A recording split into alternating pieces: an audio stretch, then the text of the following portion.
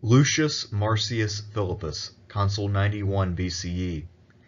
Known primarily for his work in derailing the reform attempts of Livius Drusus the Younger, Philippus is, unlike many other obstructionists in Roman history, quite significant in his own right. After his consulship, he went on to be a major player in Roman politics for about 15 or so more years. In this video, I will lay out the course of Philippus's career, explain why he is sometimes cited as an example of a scholarly theory, and why he is someone we should think about when we try to understand the politics of this period. The Marcii Philippi were a pretty well-connected plebeian family. They would qualify as noble since they had ancestors who had held the consulship. However, that being said, this was not an overly common name in the Roman world, and they weren't one of the truly great houses. A Quintus Marcius had become consul in the year 281, so this seems like a reasonable start point for when this family entered the circle of nobility. As for the first person to bear the name Marcius Philippus, that would be another Quintus, who served as consul in 186. This person is actually fairly interesting. He is mostly famous for losing in a large-scale battle against the Ligurians to the northeast of Italy. But then later, nearly 20 years later, he served as censor in 164. As I've commented on many occasions, victory and defeat in Rome did not necessarily determine one's position within the pecking order of the Senate, since it was typical for Roman elites to cast blame for military failure on the men rather than their commanders. The maternal grandfather of Lucius Marcius Philippus was one of the countless men named Appius Claudius Pulcher. This one was consul in 143, and he represents the ancestor of our Philippus, who was the most recent person to hold the consulship. Philippus's parents were Pulcher's daughter, Claudia Pulchra, and Quintus Marcius Philippus, who does not seem to have had much of a political career. He may very well have had one of some kind, but there are no surviving attestations to such a career. Lucius had an older brother who bore the sort of dominant name within the family of Quintus Marcius Philippus. This older brother was most likely born around 143 or so and died around 105. So his brother doesn't seem to have had a political career. This meant that once Lucius Marcius Philippus came of age, the burden of restoring the family to prominence in Roman politics fell upon him. Philippus was a highly educated man and someone who had a broad range of intellectual interest. He was said to have been especially well versed in Greek literature. That was especially something unique since in his generation there weren't all that many Hellenophiles. In earlier and later generations of elite Romans, there were people who were very much interested in Greek culture, but for whatever reason, most of Philippus's contemporaries were not that interested. His interest in all things Greek made him stand out and was seen as a little bit unusual. However, his interest in books no doubt helped him to become a better orator, to have a broader range of reference, and to be able to really study the works of Greek orators and learn from them. Philippus, unlike some other speakers, was not known for his preparation for speeches. Unlike, say, Hortensius and Cicero, he did not sit down and write out speeches or rehearse them or practice his gestures. He was known for speaking extemporaneously, and he did so with great skill. However, because he was acting on an impromptu basis against opponents who were much better prepared, he often struggled to get going and sometimes could stumble over his words, especially at the beginning. Especially as an old man, Philippus despised Hortensius's studied, rehearsed speeches and hand gestures. Philippus was, I guess, more natural, and it's also possible that since he grew up in an era when Romans were not all that interested in Greek culture, he tried to affect a more sort of off-the-cuff, um, bluff Roman style. Um, Romans, before they interacted with the Greeks, did not have a very elaborate um, system of oration. People spoke rather plainly in comparison to the more polished orators who had learned their craft from Greek models. While we don't really have any surviving examples of Philippus's oratorical displays, we do know that his reputation for eloquence continued at least into the Augustan era. We first hear of Philippus in 104 when he served as tribune. If he followed something like the Cursus Honorum, then he most likely was around 30 years old at this time, or perhaps just a bit older. He was determined to make an impact using his oratorical brilliance. Just like many tribunes of this period, he recognized that there was a problem when it came to Romans being landless and effectively jobless because they didn't have that land to farm. He proposed land reform and an agrarian bill. The details are unknown as to exactly what he proposed, but it seems like there was sort of a standard thing to propose at this time. He made a memorable public statement during his attempt to pass this bill that there were not more than 2,000 men in the state who possessed any real property. That seems to have struck a nerve, and this is one of the very few things that he said that has been preserved. Philippus seems to have introduced this legislation to gain popularity, and he dropped it quickly when the Senate showed no interest in passing it. Unlike many other tribunes, Philippus had no intention of ever defying or in any way challenging the authority of the Senate to legislate. A year after Philippus served as tribune, Rome elected Lucius Apuleius Saturninus to serve as one of the ten men filling the board of the tribunes. Perhaps inspired by the half-hearted failures of Philippus and others to enact change, Saturninus used the assemblies to pass legislation in 103 as the Gracchi had done 20 and 30 years earlier. In 100, Philippus gives us an indication of his feelings about such a practice because he was among the men who participated in killing Saturninus and Glaucia. Because of the way that Philippus used the tribuneship to get his name out there, and clearly did not believe in passing legislation through the assemblies, scholars have come to believe that his career and others like it show us what, quote, normal was for Roman politicians during this period. Some scholars have come to believe that posing as a popularis and making half-hearted reform proposals was an accepted and normal political tactic by men who were trying to gain name recognition. If you'll recall, Philippus's family was reasonably well known and certainly not obscure, but they were not one of the biggest houses in Rome.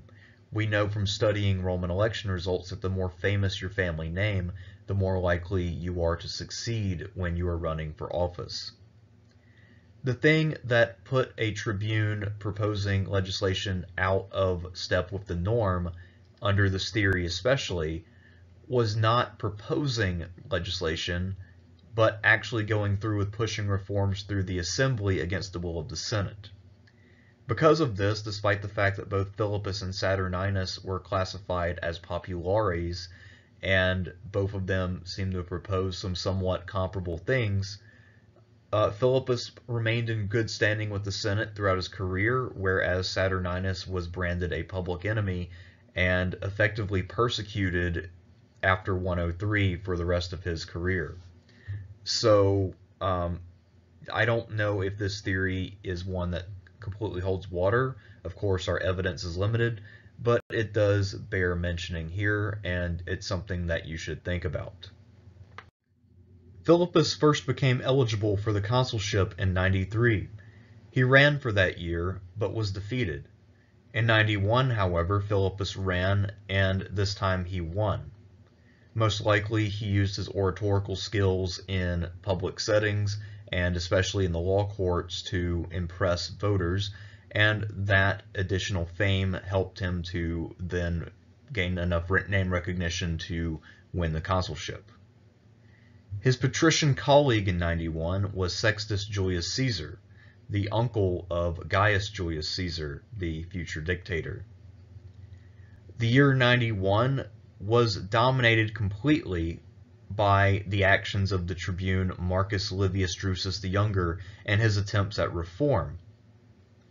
Although he is ostensibly a popularis according to our sources, Philippus was actually the leader of the opposition to Drusus and his attempts at reform. How could this be? This doesn't seem right. Well, let's take a look at what Drusus was proposing and who his chief backers were. Reform in Rome from the late 2nd century forward was extremely difficult and would meet with intense opposition. Most of the time when we hear about a tribune trying to change the way that things operate in Rome, the majority of the Senate is against this person, or at least there is a very vocal and sometimes violent opposition from a strong faction. However, in the case of Livius Drusus, he came in with the bulk of the Senate behind him, including a lot of very prominent people. Marcus Aemilius Scaurus, the Princeps Senatus, was a prominent and vocal supporter of what Livius Drusus wanted to accomplish. Lucius Licinius Crassus, the um, greatest orator of that era, and someone who was also of consular status, was a major fan of what Livius Drusus was trying to accomplish. Drusus's reforms, to put them in a nutshell, were aimed at shoring up the authority of the Senate. He was in no sense a popularis, unlike almost all of the other famous tribunes who attempted to act as reformers. Philippus therefore found himself in a strange and unprecedented spot, and he seems to have been very much in the minority because of it. So he, someone who identified at this time as a popularis, was opposing reform from a tribune, and even though he was the consul ostensibly defending the state, most of the people within the state were in favor of the reforms being proposed by the tribune. This must have seemed topsy-turvy and even insane in Rome at this time, since for the last 30 plus years, it had always been the case that the tribunes were pushing for reforms and the Senate as a body was mostly opposing those reforms. Things had gone crazy. Due to the strong support that he enjoyed in the Senate, Drusus attempted to pass his legislation through that body. Philippus's opposition, however, made this very difficult. At one point, while Philippus was engaging in obstructionism, Crassus jumped to the defense of young Drusus and defended his legislation vigorously. This resulted in an exchange between the sitting consul Philippus and the former consul Crassus.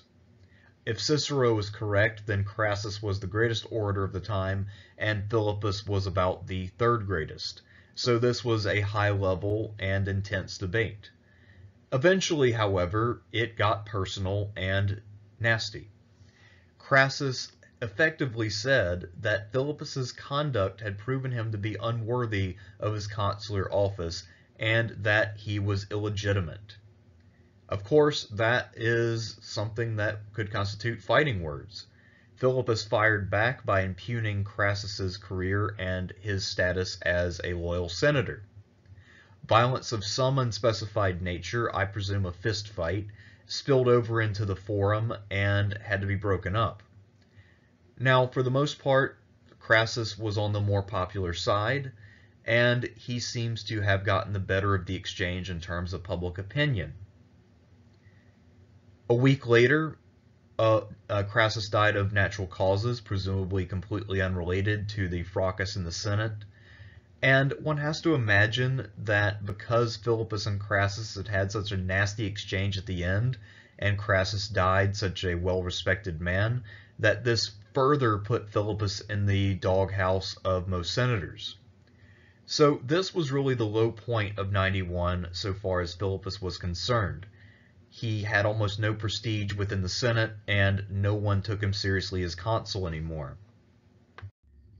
After Crassus's death, one of the major supporters of Drusus in the Senate was gone. However, the majority of the body was still more favorably inclined toward Drusus than toward Philippus. Despite his popularity and prestige being at a low ebb, however, Philippus persisted and tried his best to prevent Drusus's legislation. He apparently was able to completely persuade Drusus that trying to pass anything through the Senate was a non-starter. Drusus therefore resorted to trying to pass bills through the assembly. And Philippus decided that it would be a good idea to go to the forum and try to prevent voting from occurring. Philippus apparently didn't realize just how unpopular he was with the general public, however.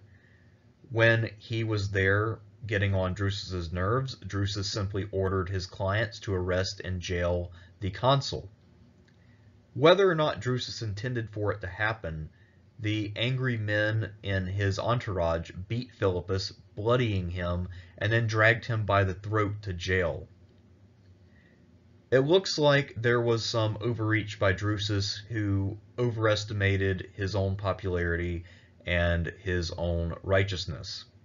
He also perhaps simply underestimated exactly how much weight Roman senators attached to respect for authority. Whatever you might think of Philippus personally, he was the sitting consul and as such should be treated with respect and dignity and certainly not beaten within an inch of his life by an angry mob incited by a junior official. Despite this severe beating, Philippus's ordeal caused the Senate's sympathy to swing decisively against Drusus.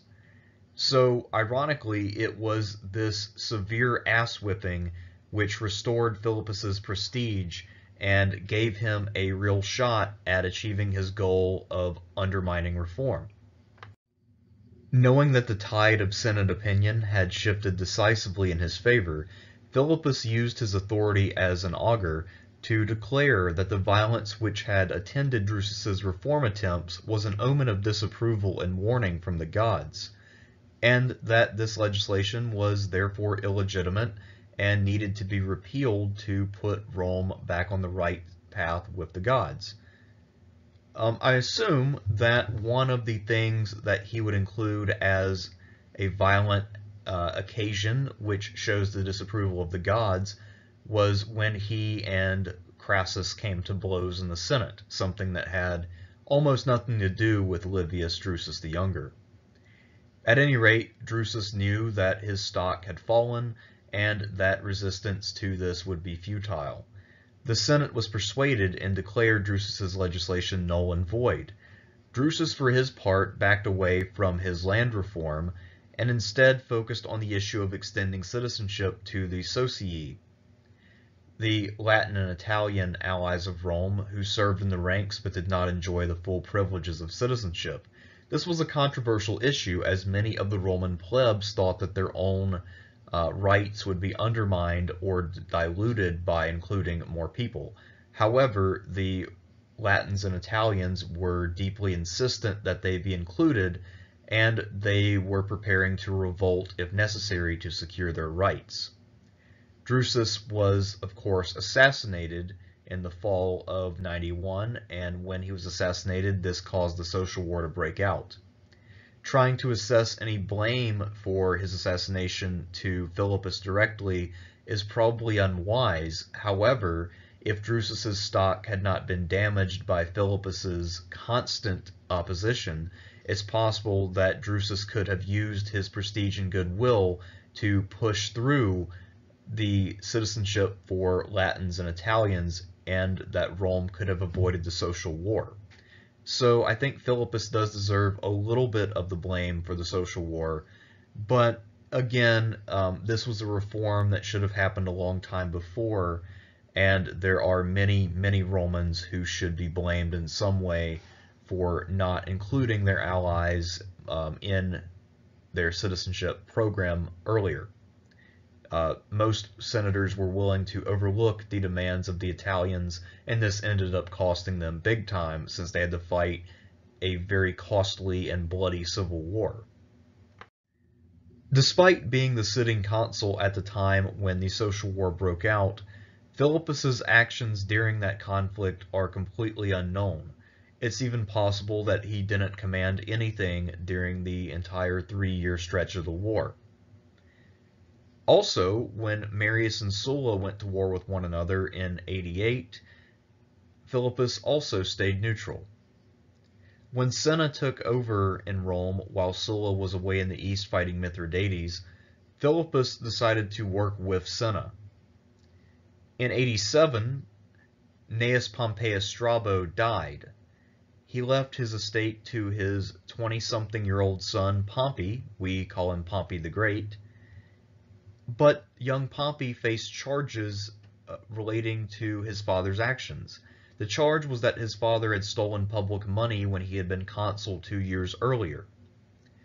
Philippus took it upon himself to defend young Pompey's inheritance, and he was able to fend off the charges from his great rival in the courts, Hortensius, and therefore Pompey was able to receive a massive estate and he would be in a position when Sulla came home to give Sulla an army and rise to prominence in his own right. So Philippus, by this court case, defeated someone who was considered a better orator in Hortensius and managed to promote Pompey's career. Supposedly, Philippus was secretly favoring Pomp uh, Sulla the entire time. But if so, he didn't reveal his hand.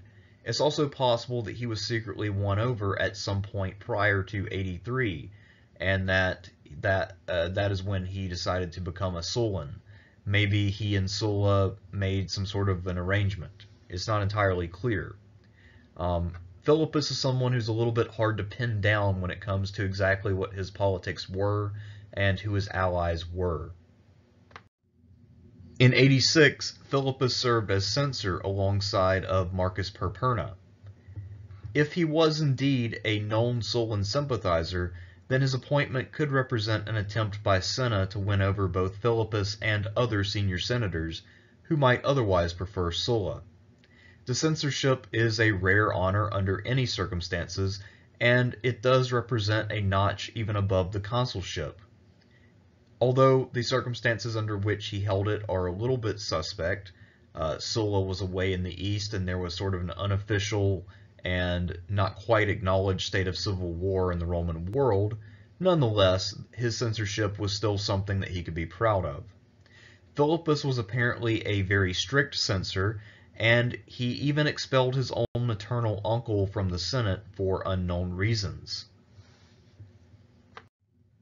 To return for a moment to Philippus's allegiance at this time, it is possible that he was a dedicated follower of Cinna.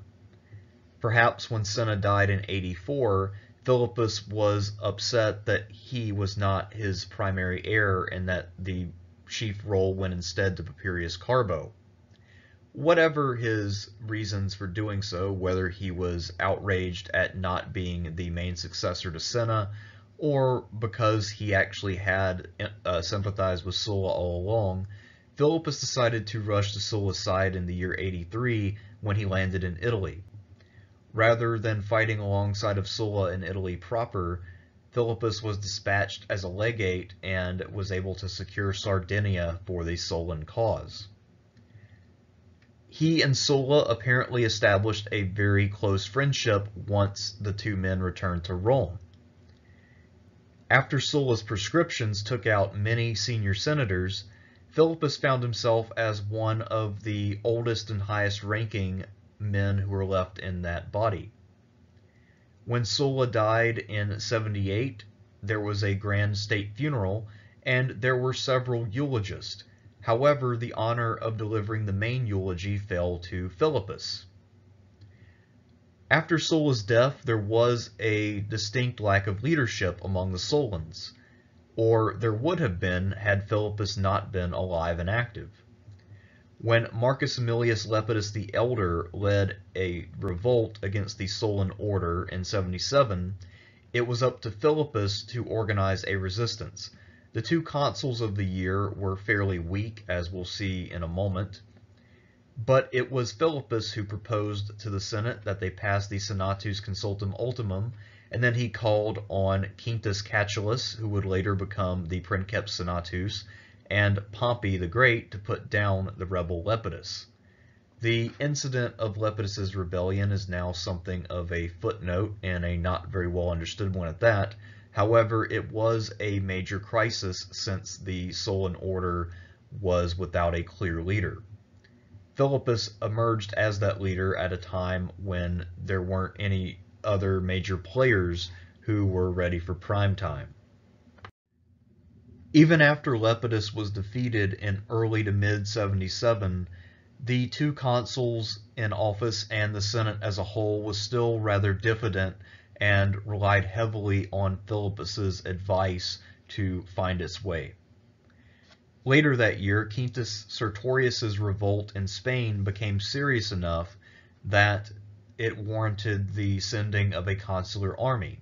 The problem was that neither of the sitting consuls, Mamercus Livianus nor Decimus Junius Brutus, wanted any part in a Spanish campaign. Campaigns in Spain tended to be long, brutal, and unprofitable. Philippus therefore proposed sending Pompey in their stead. His famous quip from this debate was, I give my vote to send him not as a proconsul, but instead of the consuls. This was not only a sick burn against the two negligent consuls, but was also a statement which playfully hints at Pompey's extraordinary role within the Sullan constitution, which did not in any way allow for someone like Pompey to exist. Pompey was still too young to meet the minimum age requirements of the higher offices within the Senate. I believe at this point he'd be in his early 30s, but he was still well south of the minimum age requirements for both the praetorship and the consulship, the two ranks at which one would actually command field forces. So this quip works on all levels, and that's probably why of all the things that Philippus ever said, this is the thing that got recorded and has been preserved to the present. It's good that he went out on this quip because this was also his last attested public act. It would appear that after 77, other senators in Rome were able to get their stuff together, and began to assert themselves as leaders. Philippus remained active in the Senate, but he didn't do anything else that we're aware of. In 73 BCE, Philippus passed away. While he will probably rarely be mentioned as anything more than the guy who opposed Livius Drusus the Younger, Lucius Marcius Philippus was actually one of the most significant men of his time, and he has gained more significance in modern times due to debates over how Roman factionalism functioned. His career, among others, has been used as an example of how popularis was actually a style of political branding for young politicians on the make. I think that there's a lot of validity to this argument, and certainly that seems to best explain Philippus's actions. That being said, I don't think that it does explain other politicians in Rome who did use the office of tribune to legitimately try to pass legislation.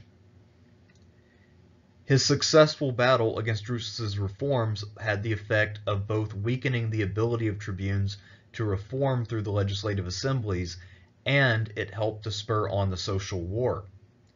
As I mentioned earlier, had Drusus kept his prestige and not lost the battle against Philippus, he most likely would have been able to pull off some kind of reform that would have prevented the social war by granting citizenship to Latin and Italian allies. I've pointed it out a couple times, but Philippus also promoted Pompey's interest and career at a couple of key points. In 87, when Pompey was inheriting his father's estate, it was Philippus who made sure that Pompey was not forced to relinquish that estate due to his father's alleged crimes. Another weird thing about Philippus that we know is that he had famously luxurious habits. He was one of the first Romans to start building fish ponds and engaging in other excesses. Apparently, this behavior rubbed off on younger people like Lucullus and Hortensius. By the way, unlike the relationship between Hortensius and Cicero, who became friends, it does not appear that Philippus and Hortensius ever saw eye to eye, mostly because Philippus saw Hortensius as a pretentious douchebag. But that is another story for another day.